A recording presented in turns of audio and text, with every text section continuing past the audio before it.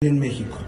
Es por esta razón que nos encontramos reunidos para arrancar la temporada comercial más alta del año. Desde la Cámara de Comercio de Puebla nos hemos planteado el propósito de promover la participación de los micro, pequeños y medianos empresarios que representan más del 95% del de total de unidades en el Estado,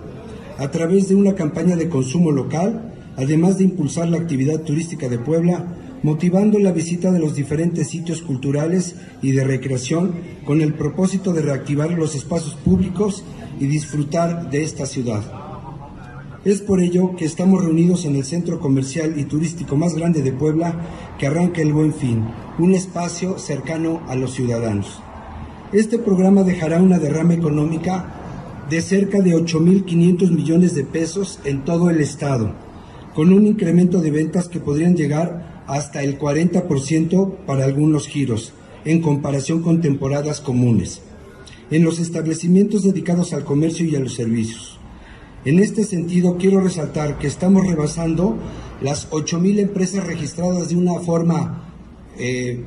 formal en, eh, en, la plataforma de la Concanaco, pero sin duda prácticamente el 85% de las empresas de comercio, servicios y turismo participan en el buen fin